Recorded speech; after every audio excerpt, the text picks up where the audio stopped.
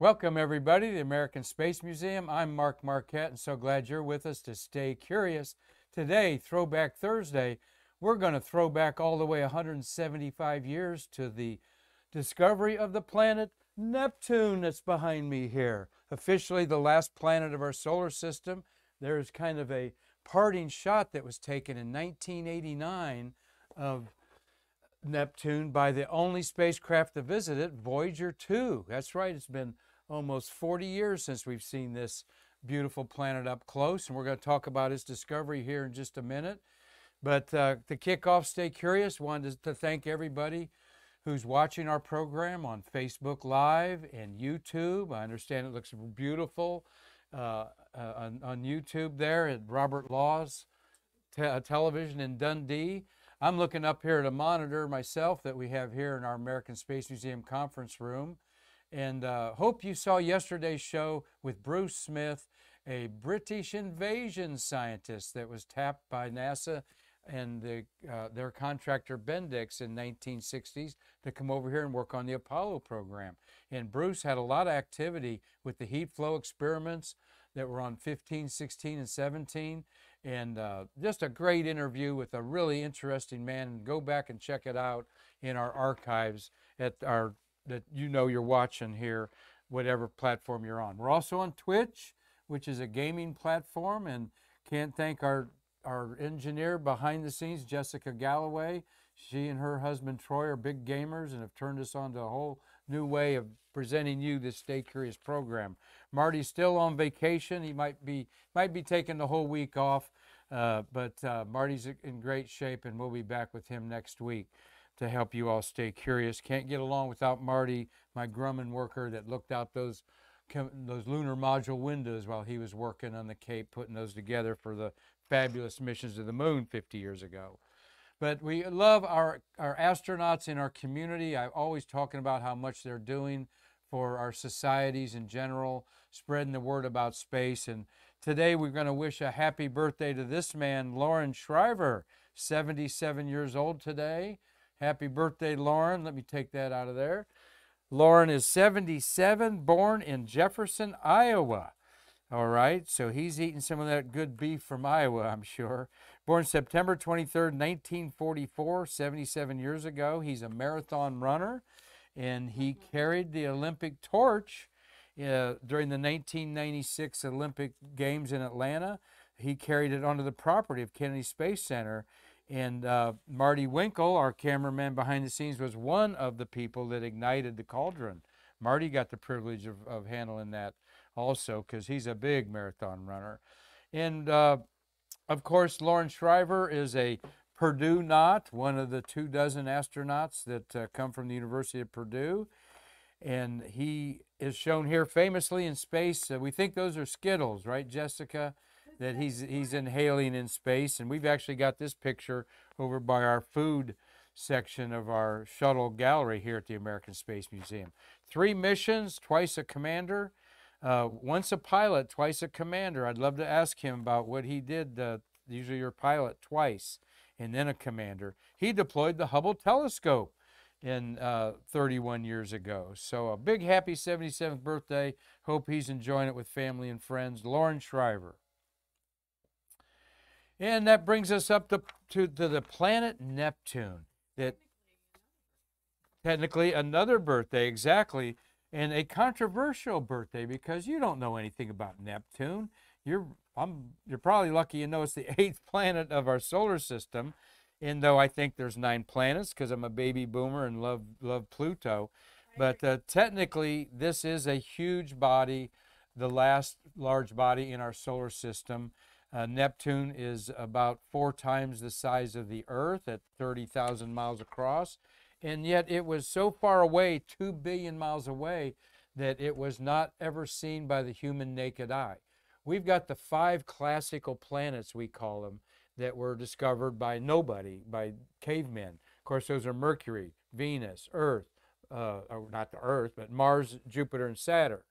And uh, you look down at the ground and see the Earth. But Uranus was discovered by uh, William Herschel in the early eight, late 1700s by an accident. because he saw it moving over a series of nights. And then people were studying Uranus and thought that it was not where it should be. Something gravity behind what was moving it uh, a day or two ahead or hours ahead of where it should be. Believe me, this is astrophysics and science that you cannot change, as Scotty says in Star Trek. You cannot change the laws of physics. So, so everybody knows exactly where things are because of laws established by Kepler and Newton and Einstein and other greats. So we knew something was wrong with Uranus uh, affecting its orbit. So there was two uh, mathematicians, one named Urban Leverrier in France and another uh, Johann Adams in uh, uh, uh, England.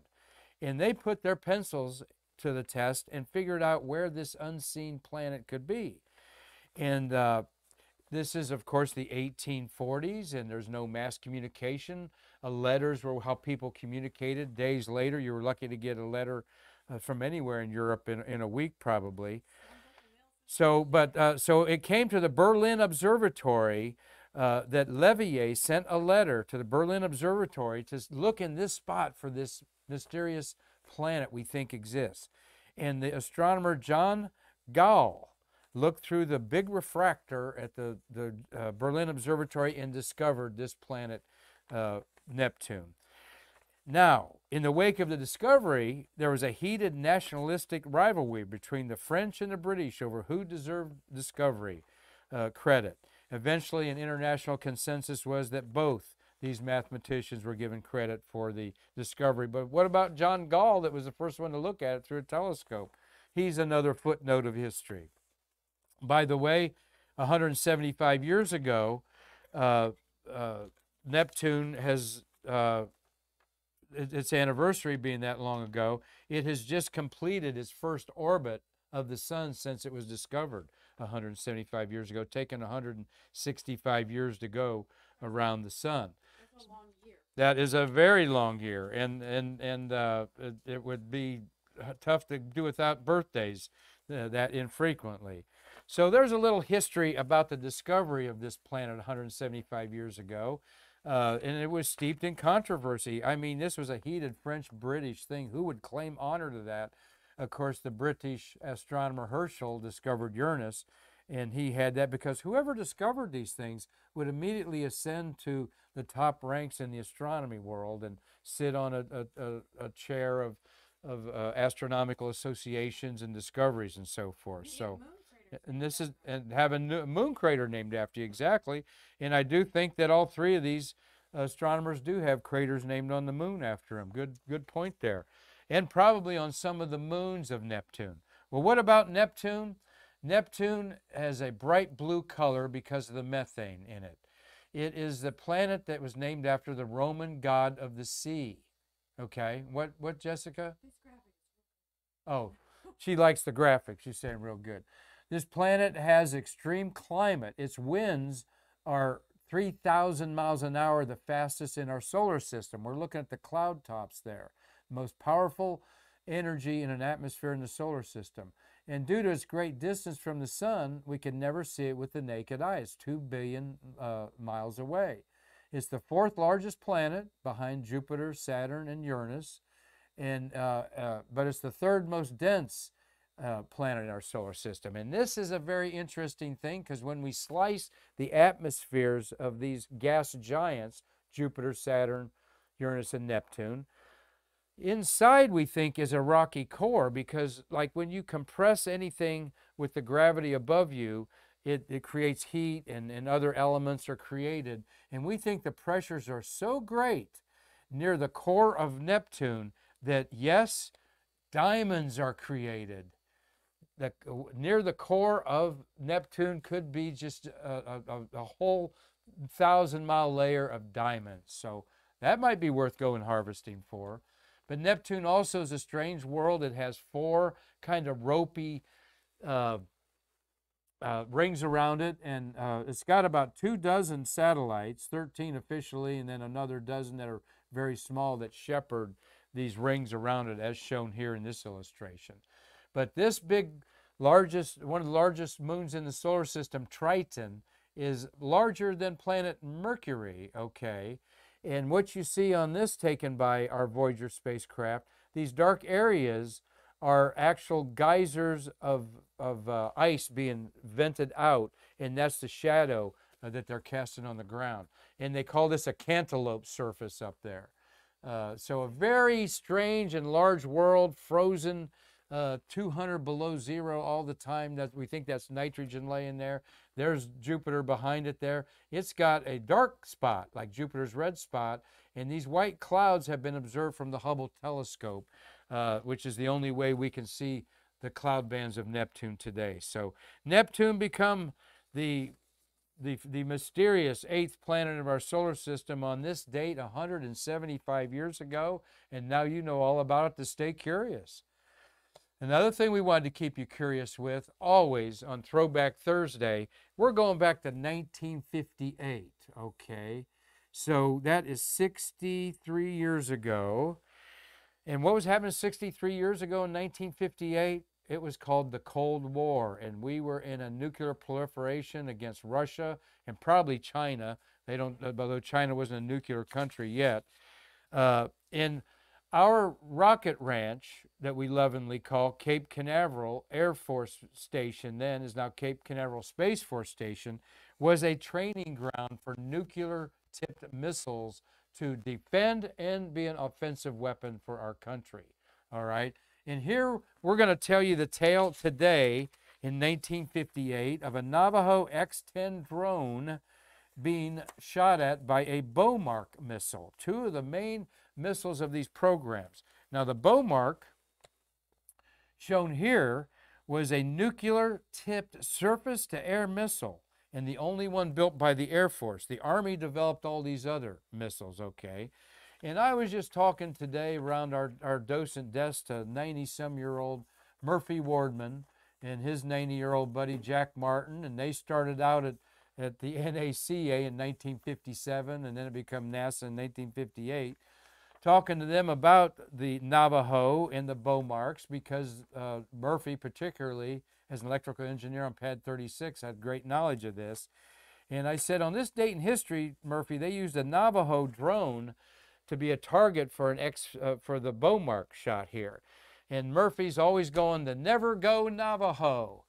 And the rivalry between 80 year olds and 90 year olds about the pride that they were doing for our country is what our museum's all about.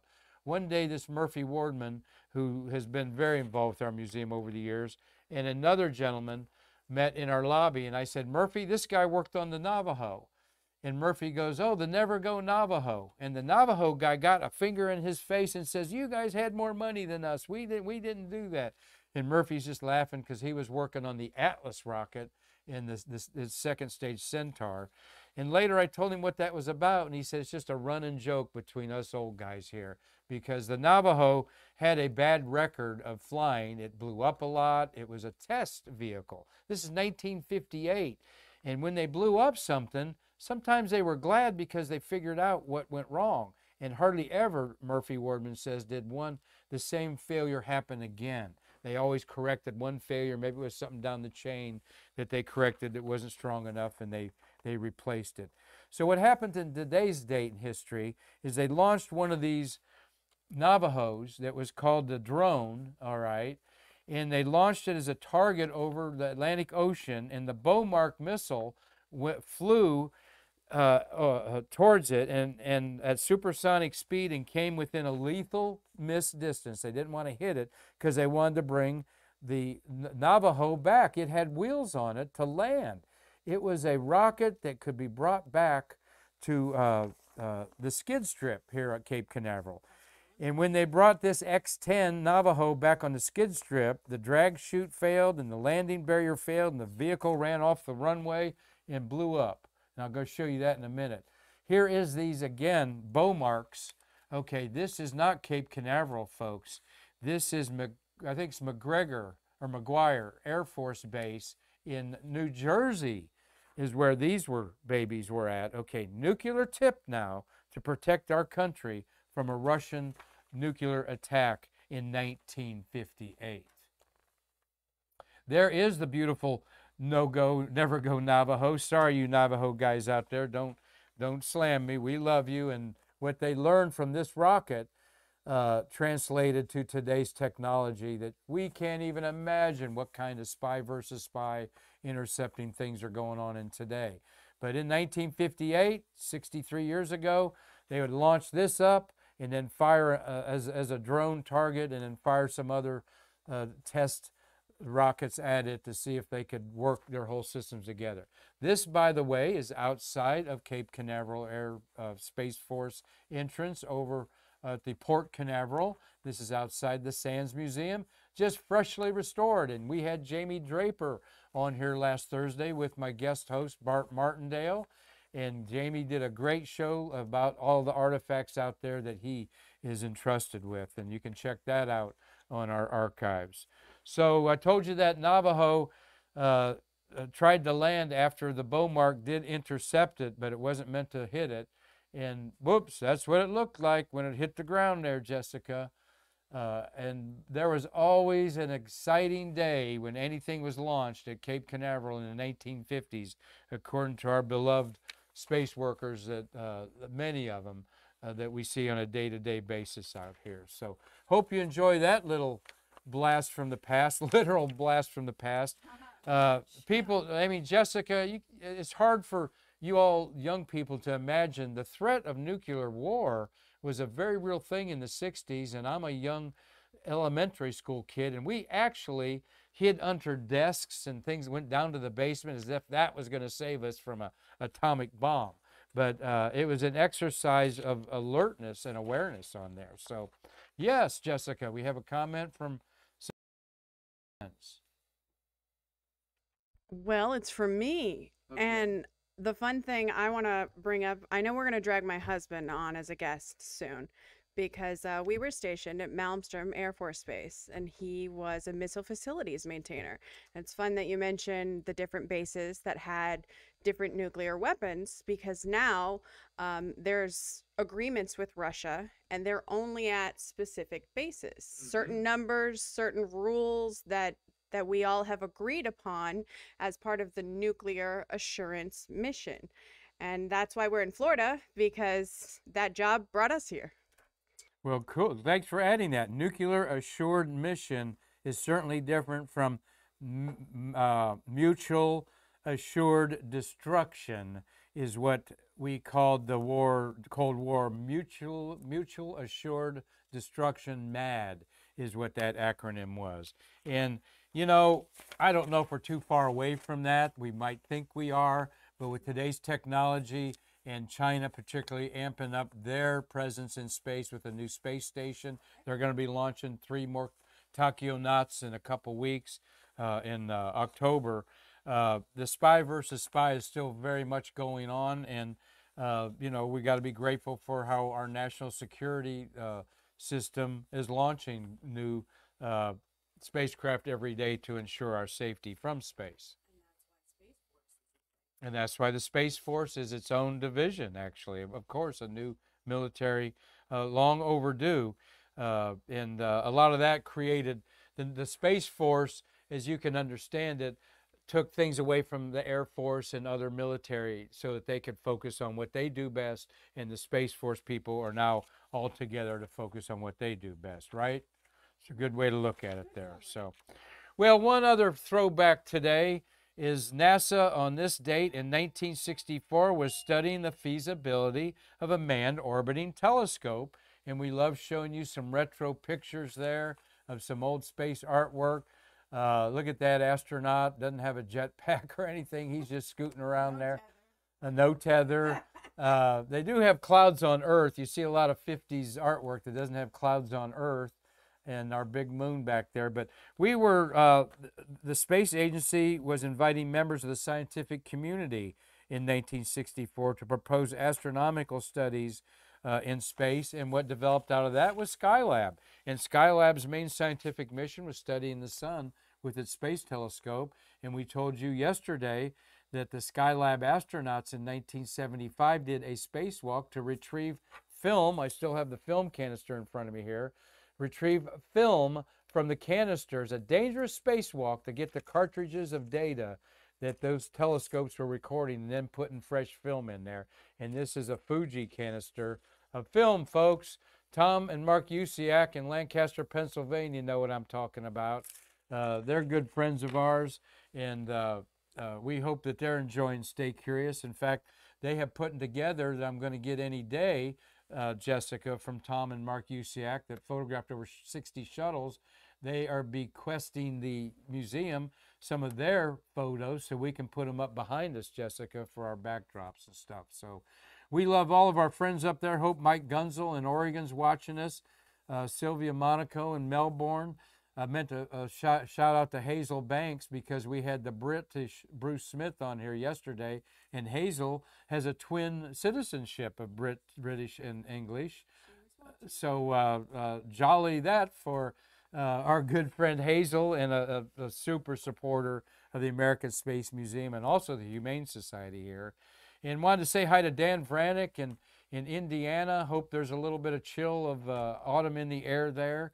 And uh, George Triolos has uh, chimed in a time or two from his planetarium in Cyprus, as in the Greek island of Cyprus. So we got friends all over the world, and we're so grateful for that.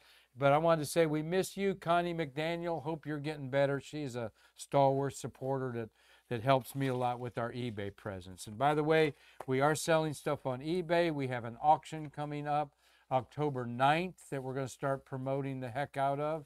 Uh, another $200,000 worth of space memorabilia up for grabs, thanks to Chuck Jeffrey, uh, our collections uh, analyst and and uh, par excellence human being who's put his efforts into literally saving this museum with his auctions. So a lot of good stuff going on, and uh, we want to get our, show our constellation of sponsors that uh, we are asking at least a $100 donation to put you on a new constellation. We're going to reveal probably next week uh, what it's going to look like and start adding names to it.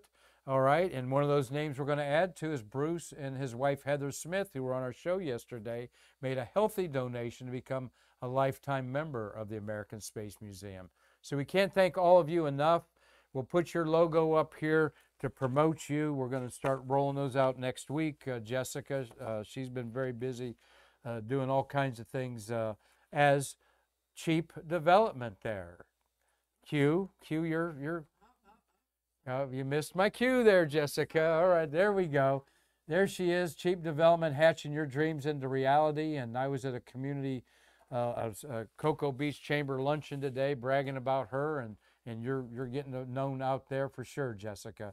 Cocoa and uh, Chamber just commented and said, "Hey, Mark." Hey, hello there, Michelle uh, Goldcamp, probably there, or Darlene. Uh, a great group of people, and we are honored to be the nonprofit of the year from the Cocoa Beach Chamber of Commerce. Our whole staff has worked hard to uh, not just for that goal, but to bring you a great experience in our museum. And now we are geared up to STEAM education, science, technology, engineering, arts, and math. And of course, outreach with our Stay Curious programs and astronomy programs we're going to start be doing here. So you want to come book your vacations here. I was at Cocoa Beach Chamber today, Jessica, and Cocoa Beach is a town of 11,000 people. They get 2.2 million tourists a year in that 11,000 uh, person town, which is roughly 30 minutes uh, from where our museum is. We're, we're north of the Cocoa Beach, Cape Canaveral area, but you won't regret it coming up here because our beaches are beautiful at Playa Linda, and uh, it's a great place to view a, a space launch. So we will have with us tomorrow Tales from the White Room from Triple T, Travis Thompson. Um, and uh, he's doing a lot better and look forward to a couple tales of him putting astronauts in their spaceships that he did for 30 years. And we have the museum's wide open, and this is the Florida weather's coming that you're all going to uh, be jealous about uh, when you see the snow fly. But enjoy the, the first days of autumn now as uh, everybody's getting a reprieve from the hot weather, we hope, and enjoying some beautiful sights as those leaves are changing. So, on behalf of Jessica and Marty, uh, who's taking a little break, uh, I'm Mark Marquette, and we will see you tomorrow with Triple T with Tales from the White Room to bridge the space between us.